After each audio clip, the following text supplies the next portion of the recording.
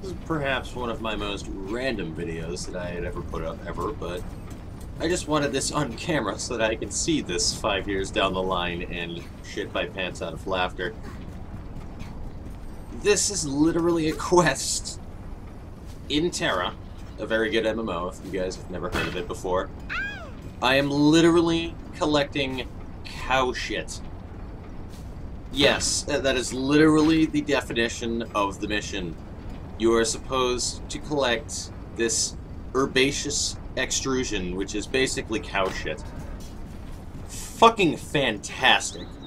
Fan fucking tastic. I have been waiting for something like this in an MMO before. This is absolute fantastic. This turns a collection quest in an MMO game that I cannot stand into something absolutely enjoyable. Collecting shit. Have a great day, gentlemen and ladies. Have a great You here to beat us?